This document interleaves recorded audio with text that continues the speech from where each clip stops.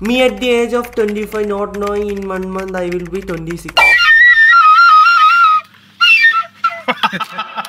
And ഇപ്പോഴത്തെ ജെൻസെറ്റ് പിള്ളേരുടെ ആദ്യത്തെ ഇൻസ്റ്റാഗ്രാം പോസ്റ്റ്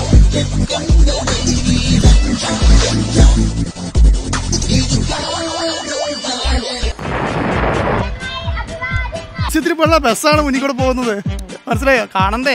കണ്ടോട്ടെ? ഞാനും എന്നെ ഞാൻ വിളിക്കും. കിഷോർ തോമസും ഞാൻ വിളിക്കും കാണുന്ന എല്ലാവരും അവരെ തന്നെ ഞാൻ എന്നാ വിളിക്കുന്നത്. ഈ ഞാനിന്റെ അർത്ഥം എന്താണെന്ന് L G T V H D plus. ഒരുപാട് കാലം വരെ ഞാൻ പറയണം പറയണം വിചാരിച്ച് മാറ്റി വെച്ചിരുന്ന ഒരു ടോപ്പിക് ആയിരുന്നു എന്നും കമന്റ് ബോക്സിൽ ഒരു ഇരുന്നൂറോളം ഫ്രണ്ട്സ് ഈ ടോപ്പിക്കിനെ പറ്റി വീഡിയോ ചെയ്യാൻ പറയാറ്. വെറുതെ പറയുകയാണെങ്കിൽ ഒരു മയറിനെ എന്നോട് പറഞ്ഞിട്ടില്ല. വീസ് കിട്ടാനുള്ളവന്റെ അടവാണ്.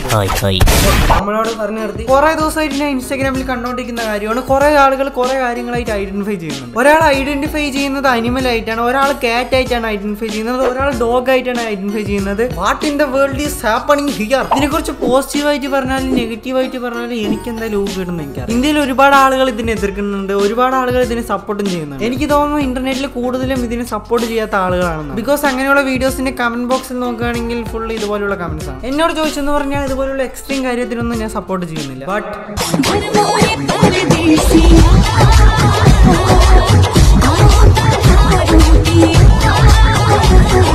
പയ്യന്റെ പേരാണ് പ്രൺഷ് ഈ പയ്യൻ ഒരു മേക്കപ്പ് ഇൻഡസ്ട്രിസ്റ്റ് കോം ഇൻസ്റ്റാഗ്രാം ഇൻഫ്ലുവൻസർ ആണ്. ഈ റീൽ കണ്ട ഒരുപാട് ആളുകൾ ഇതിന്റെ കമന്റ് ബോക്സിൽ പോയിട്ട് ഈ പയ്യനെ കളിയാക്കിണ്ടായിരുന്നു ഇതേ സംഭവം ഈ പയ്യന് റിയൽ ലൈഫിൽ നടന്നു. അങ്ങനെ ഒരുപാട് സഹിക്കാണ്ടായപ്പോ ഈ പയ്യൻ സൂയിസൈഡ് പക്ഷെ സൂസൈഡ് ചെയ്ത് കഴിഞ്ഞപ്പോൾ അതേ കമന്റ് ബോക്സിൽ ഒരുപാട് സെലിബ്രിറ്റീസ് ആളുകളും ചേർന്ന് ഈ പയ്യന്റെ ടാലന്റിനെ അപ്രിഷിയേറ്റ് ചെയ്യുന്നുണ്ടായി അവ അലൈവായിരുന്നപ്പോ ഈ പയ്യന് വേണ്ടി വാദിക്കുന്ന ആളുകൾക്ക് എവിടെയായിരുന്നു? നമുക്കറിയാം ട്രാൻസ്ജെൻഡേഴ്സ് നമ്മുടെ സൊസൈറ്റി നിൽക്കാൻ വേണ്ടിയിട്ട് ഒരുപാട് ഒരുപാട് സ്ട്രഗിൾ ചെയ്തിട്ടുണ്ട്. അവനിപ്പോഴും അക്സെപ്റ്റ് ചെയ്യാത്ത അവനെ വെറുക്കുന്ന ഒരുപാട് ഒരുപാട് ആളുകൾ ഇപ്പോഴും നമ്മുടെ സൊസൈറ്റിയിലുണ്ട് ഫസ്റ്റ് അവരാണ് മാറേണ്ടത്. ബിക്കോസ് ഈ പയ്യൻ അല്ല അമേരിക്കയിലൊക്കെ ജനിച്ചു എന്ന് പറഞ്ഞാൽ ഈ പയ്യൻ ഈ ഗതി വരില്ലായിരുന്നു. India have to change because we failed as a society no form of love is wrong as long as it is love എല്ലാ ഷോയിലും ഒരു സെലിബ്രിറ്റി എയറിലായിരിക്കും പ്രാവശ്യം ഒന്നല്ല രണ്ട് പേരാണ് എയറിലുള്ളത് നമ്മുടെ ദിലീപ് ഏട്ടനും പിന്നെ നമ്മുടെ പണ്ടൊക്കെയാണെന്ന് പറഞ്ഞാൽ രണ്ട് സിനിമകൾ തമ്മിലായിരിക്കും. അടി പക്ഷെ ഇപ്പൊ സിനിമകളും റിവ്യൂസും തമ്മിലാണ് അടി. നമ്മുടെ റിവ്യൂസിന്റെ കാര്യമാണ് കഷ്ടം. അതായത് ഓരോ സിനിമ ഇറങ്ങുമ്പോൾ അവരുടെ പേരിൽ ഓരോ പുതിയ പുതിയ കേസ് ഫയൽ ചെയ്തുകൊണ്ടിരിക്കും. കഴിഞ്ഞ ദിവസം ബാന്ദ്ര സിനിമ റിവ്യൂ ചെയ്തതുകൊണ്ട് ആറ് യൂട്യൂബറിന്റെ മേലെയാണ് കേസ് ഫയൽ ചെയ്തിരിക്കുന്നത് അതിന്റെ പ്രൊഡ്യൂസർ. ബാന്ദ്ര സിനിമയുടെ നെഗറ്റീവ് റിവ്യൂ ചെയ്ത യൂട്യൂബർമാർക്കെതിരെ കോടതിയിൽ ഹർജി. ബ്രോ ബ്രോയുടെ നാൽപ്പത് കോടിയുടെ വിഷമം ഞങ്ങൾക്ക് മനസ്സിലാവും. പക്ഷെ അതുവരെ ഞങ്ങൾ എന്തിനാ വെറുതെ രണ്ട് മണിക്കൂർ പീഡനം സഹിക്കുന്നത്? കേസ് കൊടുത്തതിന്റെ പിന്നെ നമ്മൾ കാണുന്നത് ബാന്ദ്ര സിനിമയുടെ സക്സസ് മീറ്റ് ആണ് അതിലൂടെ ഡയറക്ടേഴ്സും പ്രൊഡ്യൂസേഴ്സും ഒക്കെ പറഞ്ഞു നടക്കുന്നത് ഈ സിനിമ എല്ലാവരും ഹൗസ്ഫുൾ ആണ് സൂപ്പർ ഹിറ്റ് ആകാൻ പോണ സിനിമയാണെന്നൊക്കെയാണ്.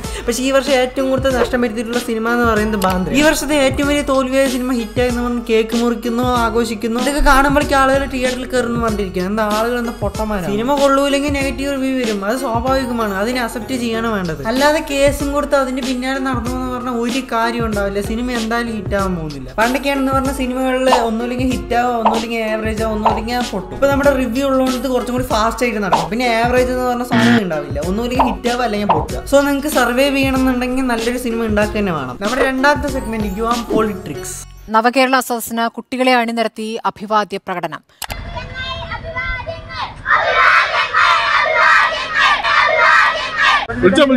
അടുത്ത ഇലക്ഷൻ ജയിക്കാൻ വേണ്ടി കുറെ മന്ത്രിമാർ നന്നായിട്ട് കഷ്ടപ്പെടുന്നു പണ്ടൊക്കെയാണെന്ന് പറഞ്ഞ മന്ത്രിമാർ എവിടെ പോവാണെങ്കിലും ജയ് വിളിക്കാൻ വേണ്ടി പൈസ കൊടുത്ത് കുറച്ച് ആളുകളെ സെറ്റ് ചെയ്ത് വെച്ചിട്ടുണ്ടാവും. അവരുടെ ജയ് വിളി കണ്ടാൽ തന്നെ നമുക്ക് മനസ്സിലാവും അത് പൈസ കൊടുത്ത് പറയിപ്പിക്കണം സോഷ്യൽ മീഡിയയിൽ ഇപ്പോൾ കുറച്ചും കൂടി പവർ കാണിക്കാൻ വേണ്ടി സ്കൂളിലെ കുട്ടികളെ കൊണ്ടാണ് അധ്യാപകർ ജയ് വിളിപ്പിക്കുന്നത്.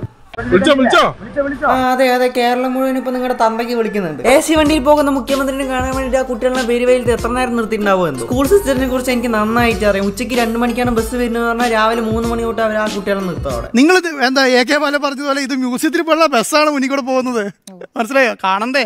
കണ്ടോട്ടെ? എന്ത് കണ്ടോട്ടെ എന്ന് കാണുന്ന നിർബന്ധം ഉണ്ടെങ്കിൽ താൻ തന്നെ മക്കളെ കൊണ്ടുപോയി നിർത്തുക. എനിക്ക് നല്ല ഉറപ്പാണ് ആ പെരുവയിലത്ത് നിന്ന് അഭിവാദ്യം പറഞ്ഞ മുഖ്യമന്ത്രിനെ ബസ് കാണാൻ ഏത് കുട്ടിക്ക് ഇഷ്ടമുണ്ടാവില്ല. ക്ലാസ്സിലിരുന്ന് പഠിക്കേണ്ട കുട്ടികളെ ഫോഴ്സ്ഫുൾ ഇങ്ങനെയൊക്കെ ചെയ്യിപ്പിക്കാന്ന് പറഞ്ഞത് അത് ഒരിക്കലും അംഗീകരിക്കാൻ പറ്റാത്ത കാര്യമാണ്. ഹലോ ഇറ്റ്സ് ഗൈസ് നമ്മുടെ മല്ലു ഫാമിലിയുടെ സീസൺ ത്രീ പൊന്നൂസിന്റെ അവിഹിതം കഴിഞ്ഞിരിക്കുകയാണ്. ഈ സീസണിൽ നമുക്ക് നാൽപ്പത്തിരണ്ട് എപ്പിസോഡാണ് കാണാൻ പറ്റുന്നത്. ഓരോ എപ്പിസോഡും പത്ത് മിനിറ്റ് ആണ് ലെങ്ത് ഉള്ളത്. എന്റെ റിവ്യൂ ചോദിക്കുകയാണെങ്കിൽ യാ കഴിഞ്ഞ രണ്ട് സീസണിലെ ഇവരുടെ അഭിനയത്തിനേക്കാളും കുറച്ചും കൂടി ഇംപ്രൂവ്മെന്റ് ഉണ്ട്. ഒരു edge of the seat experience പ്രതീക്ഷ നിങ്ങൾ ഒരിക്കലും പോകരുത്. പക്ഷെ നല്ലൊരു സർവൈവർ ത്രില്ലർ ഹൊറർ സീരീസ് ആയിട്ട് നമുക്ക് ഈ സീരീസെ കണക്കൂട്ടാൻ പറ്റും. പിന്നെ പൊന്നൂസ് പണങ്ങി പോയി എന്ന് പറയുന്ന വീഡിയോസിലൊക്കെ ഇടയ്ക്കിടയ്ക്ക് പൊന്നൂസിന്റെ ക്യാമറ റോൾ കാണാൻ പറ്റും. അതിന് സുജിൻ ചേട്ടന്റെ ഡയറക്ടർ ബില്യൻസ് അല്ലാതെ വേറെ എന്ത് പറയുന്ന ഇതൊരു സർവൈവൽ ത്രില്ലർ സീരീസ് ആയതുകൊണ്ട് തന്നെ എത്ര പേര് ഇത് കണ്ട് യൂട്യൂബിലൂടെ യൂട്യൂബിലൂടെ സർവേ ചെയ്തെന്ന് എനിക്കറിയില്ല. കഴിഞ്ഞ സീസണായി പൊന്നൂസിന്റെ പ്രസവത്തിൽ കമന്റ് ബോക്സിൽ എല്ലാവരും കൂടി സമരം ചെയ്ത് പ്രതിഷേധിച്ച പോലെ ഇപ്രാവശ്യം പ്രതിഷേധമൊന്നും ഉണ്ടായിരുന്നില്ല. ഇവരെന്തായാലും മാറാൻ പോകണമെന്ന് പറഞ്ഞാൽ അവർ ഡയറക്റ്റ് യൂട്യൂബ് തന്നെ അൺഇൻസ്റ്റാൾ ചെയ്തെന്നാണ് കേട്ടത്. നാട്ടുകാർ ഇത് സർവേ ചെയ്ത് യൂട്യൂബിന് ഇത് സർവേ ചെയ്യാൻ പറ്റാതിരിക്കുമ്പോഴാണ് നാലാമത്തെ സീസണിന്റെ അനൗൺസ്മെന്റ് വരുന്നത്.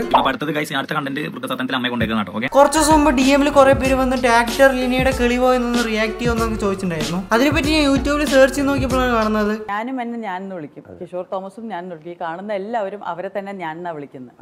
ഈ ഞാനിന്റെ അർത്ഥം എന്താണെന്ന് ഞാൻ ഞാൻ ആരാണെന്നൊക്കെ ചോദിച്ചു കഴിഞ്ഞാൽ നോൺ നെറ്റ് നോംബ്ര നോൺ സ്റ്റോപ്പ് നെറ്റ് നോംബ്രാക്കി മാണോടിച്ച് ഡിപ്രഷൻ മാറാൻ വേണ്ടി ആറ് പിടിച്ച് നമുക്ക് റെക്കോർഡ് ചെയ്ത് ഇപ്പൊ മൈക്കിന് മുമ്പത്ത് സംസാരിക്കുന്നതാണ് ഈ ഞാൻ. എന്റെ ശരീരം എന്ന് പറയാറില്ലേ? പറയാറുണ്ട്. അപ്പൊ ആരാ അത് പറയുന്നത്?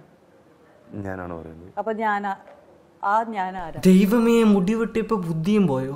ആരാണെന്ന് ചോദിച്ചാൽ കിഷോർ തോമസ് ആണെന്ന് പറഞ്ഞു അതെന്താണ്? ഈ ഞാൻ ഞാൻ ആരാണെന്നൊക്കെ ചോദിച്ചു കഴിഞ്ഞാൽ ഞാനൊരു ലോക ഗുണയാണ് അത് മാത്രം എനിക്കറിയാം. അഞ്ച് വയസ്സിലെ ഒരു കാര്യം ഓർമ്മയുണ്ടോ? ആ ഓർമ്മയുണ്ട്. കുറച്ചൊക്കെ. ഉണ്ടാവും ചിലപ്പോൾ ഉണ്ടെങ്കിലും ആ ഓർമ്മയുള്ളത് ഇപ്പം അല്ലേ ആ ആ, അതന്നെ. അതെന്ത് ഈ മൊമെന്റിൽ ആ ഓർമ്മയില്ലെങ്കിൽ ആ ഓർമ്മയില്ല.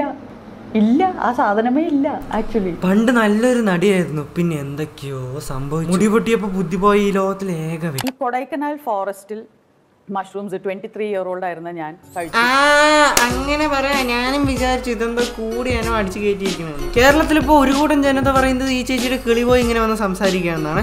വേറൊരു കൂട്ടം ജനത പറയുന്നത് സെയിമിന് വേണ്ടി ഇന്റർവ്യൂവിൽ വന്നിട്ട് ഇങ്ങനെ വേണം വെച്ച് തള്ളി വിടുകയാണെന്നാണ്. വേറെ ചില ന്യൂസ് ചാനൽസ് പറയുന്നത് ഈ ചേച്ചി അംഗീകൃത ക്ലിനിക്കൊന്നുമല്ല ഈ ചേച്ചി വെറുതെ തള്ളി വിടുകയാണെന്നാണ് വിചിത്രവാദങ്ങൾ ഉന്നയിച്ച സിനിമാ നടി ലെന അംഗീകൃത ക്ലിനിക്കൽ സൈക്കോളജിസ്റ്റ് അല്ലെന്ന ഇന്ത്യൻ ക്ലിനിക്കൽ സൈക്കോളജിസ്റ്റ് അസോസിയേഷന്റെ പ്രതികരണം. എന്തായാലും ചേച്ചിയുടെ പോയകളിലേക്ക് തിരിച്ചു കിട്ടാൻ വേണ്ടി ഞാൻ എന്നും പ്രാർത്ഥിക്കാം. നമ്മുടെ വീഡിയോയിലെ അടുത്ത സെഗ്മെന്റിക്കുവാം റീൽസ് ഗ്രാം ഇപ്പോഴൊക്കെ ഇൻസ്റ്റാഗ്രാം ഓപ്പൺ ആയി കഴിഞ്ഞാൽ കാണുന്നത്. റൈറ്റ് സൈഡ് നോക്കിക്കഴിഞ്ഞാൽ ലെഫ്റ്റ് സൈഡ് നോക്കിക്കഴിഞ്ഞാൽ തിരിഞ്ഞു നോക്കിക്കഴിഞ്ഞാൽ ഇപ്പൊ മനസ്സിലായില്ലേ ഗൈസ് എന്തുകൊണ്ടാണ് ഇൻസ്റ്റാഗ്രാമിലുള്ള ആളുകൾക്ക് എന്നെ കംപ്ലീറ്റ് ചെയ്യാൻ പറ്റാത്തത്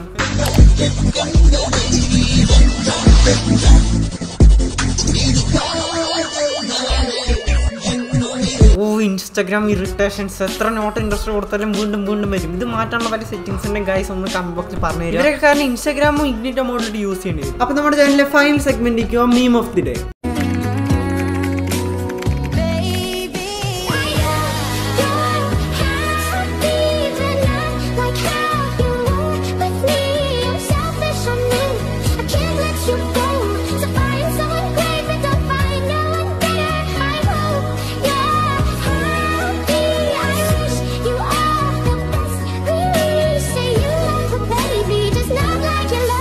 അപ്പൊ ഗൈസ് എല്ലാവർക്കും വീഡിയോ ഇഷ്ടമായിരുന്നു ഇഷ്ടമായെങ്കിൽ ലൈക്ക് ചെയ്യുക ഷെയർ ചെയ്യുക സബ്സ്ക്രൈബ് ചെയ്യുക. പിന്നെ വീഡിയോ എങ്ങനെ ഉണ്ടായിരുന്നു താഴെ എന്തായാലും കമന്റ് ചെയ്യണം. അടുത്തൊരു കീഴിലും വീഡിയോയിൽ കാണാം. ഗൈസ് പിന്നെ സെക്സ് എഡ്യൂക്കേഷൻ ചാനൽസിന്റെ റോസിയുടെ വീഡിയോ കാണണമെങ്കിൽ ഇവിടെ ക്ലിക്ക് ചെയ്തോളൂ.